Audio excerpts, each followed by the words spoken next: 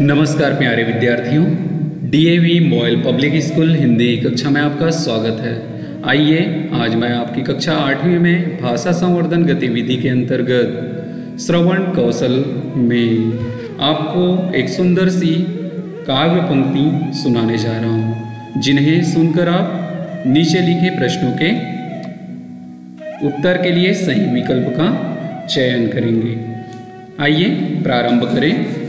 आज के श्रवण कौशल की ये पंक्तियाँ, जिनको आपको ध्यान से सुनना है और सुनकर अर्थ ग्रहण करते हुए इनके उत्तर भी लिखना है। तो प्रारंभ करें। हम जंग न होने देंगे, विश्व शांति के हम साधक हैं। हम जंग न होने देंगे, विश्व शांति के हम साधक हैं। जंग न होने देंगे। कभी न खेतों में फिर, खूनी खाद फलेगी। कभी न खेतों में फिर खूनी खाद फलेगी, खलिहानों में मौत नहीं। खलिहानों में मौत नहीं, मौत की कोई फ़सल खिलेगी। आसमान फिर कभी न अंगारे उगलेगा। आसमान फिर कभी न अंगारे उगलेगा, एटम से फिर नागासाकी नहीं जलेगी।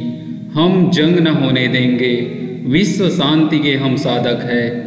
जंग न होने देंगे। युद्ध विहीन विश्व का, युद्ध विहीन विश्व का सपना भंग न होने देंगे। हथियारों के ढेरों पर जिनका है डेरा। हथियारों के ढेरों पर जिनका है डेरा। मुँह में शांति, बगल में बम, धोखे का फेरा। कफन बेचने वालों से कह दो चिल्लाकर कफन बेचने वालों से कह दो, चिल्लाकर दुनिया जान गई है उनका असली चेहरा। मुँह में शांति, बगल में बम, धोखे का फेरा कामयाब हो उनकी चाले, ढंग न होने देंगे। कामयाब हो उनकी चाले, ढंग न होने देंगे।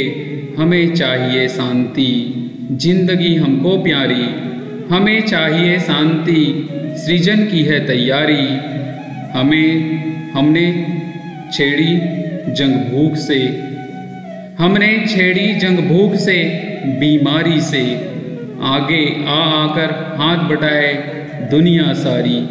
हरी भरी खेतों को खूनी रंग न लेने देंगे। हम जंग न होने देंगे, हम जंग न होने देंगे, हम न जंग न होने देंगे।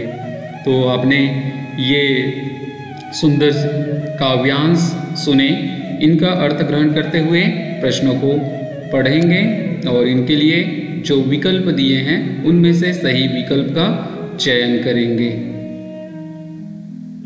धन्यवाद।